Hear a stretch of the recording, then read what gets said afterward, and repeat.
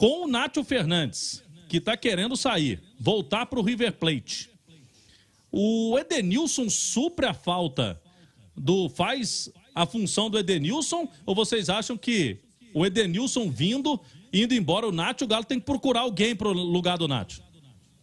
Ô, Cláudio, eu vou deixar que o Edu responda, mas eu vou fazer um convite ao atleticano. Daqui a pouquinho tem mesa redonda da Itatiaia, os comentaristas da Rádio de Minas vão debater todos esses temas, Copa do Mundo, Atlético, Cruzeiro, América, mas eu vou trazer um convidado especial, o repórter José Alberto Andrade, nosso colega da Rádio Gaúcha, que trabalhou com o CUDE, e ele vai trazer algumas informações interessantes. Entre elas, a de que o CUDE na grande resenha esportiva, o Cudê vai falar a respeito de Nátio Fernandes.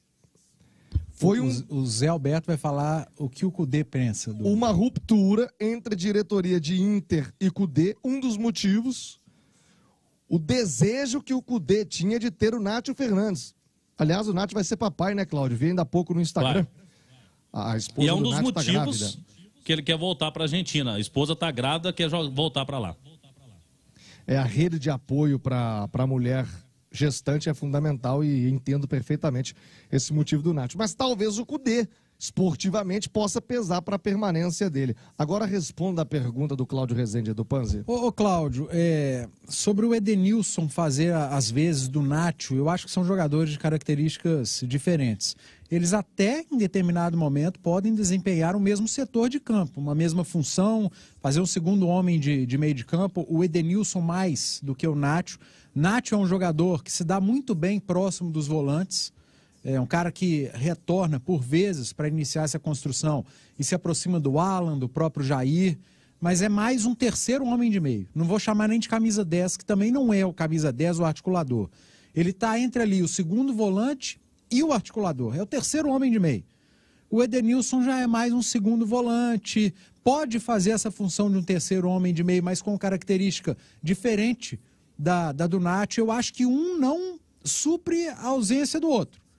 Talvez os dois se complementem. Acho que seria muito legal se o Atlético conseguisse tê-los para a temporada de 2023 contar com Edenilson e com Nath Fernandes. E, e eu acompanhei a entrevista do Zé Alberto o Cudê é um cara que gosta muito do futebol do Nacho. Só que a gente, o clube respeita muito a vontade do atleta, a família envolvida na situação e a gente respeita muito também. Agora, é, um suprir a ausência do outro, eu acho que não. O Cláudio Rezende. Então o Cudê vai pedir um, o Edenilson. Viu, Thiago? Hein?